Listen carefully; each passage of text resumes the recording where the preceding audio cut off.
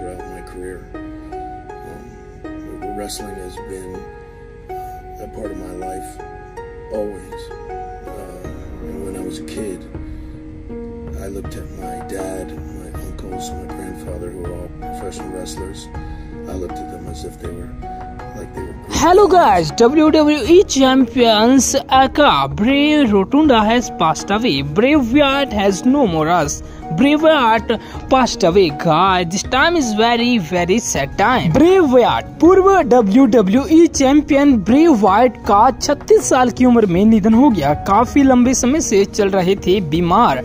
आपको बता दें WWE में ब्रे वियट और द फिन के नाम से रेसलिंग करने वाले विंडम रो रोटुंडा का निधन हो गया। वह सिर्फ़ 36 साल के थे। व्हाइट कुछ समय से गंभीर स्वास्थ्य बीमारियों से जूझ रहे थे। इसके बारे में खुलासा नहीं किया गया कि आखिर उनकी बीमारी की वजह क्या थी। आपको बता दें, बीमारी की वजह वह रिंग और टेलीविज़न से दूर, लेकिन आज उनकी मौत हुई तो परिवार ने अप्रत्याशित और अचानक बताया, रोटुंडा तीसरी पीढ़ी के रेसलर थे। माइका रोटुंडा के बेटे और ब्लैक मुल्गिन के पोते डब्ल्यू में उन्हें व्हाइट फैमिली के लीडर के रूप में दिखाया गया था।